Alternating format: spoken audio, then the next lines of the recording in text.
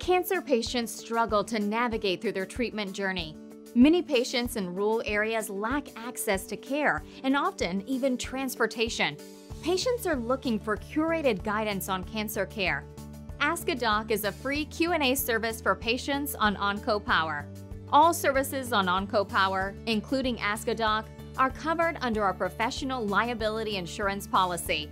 We invite compassionate oncologists to donate one hour of their time per month to answer patients' questions with the Ask a Doc tool. Try it today. You can enable or disable this feature anytime. Download and register. Use Ask a Doc dashboard to set your availability and see past, completed, and pending cases. You can set how you want to use the Ask a Doc to respond to patients from specific states. Review the case to see what the question is about and if it is suitable for you to respond.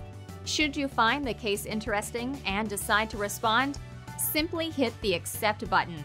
You can type or dictate your response to the patient. Please join and offer help to patients when you are able.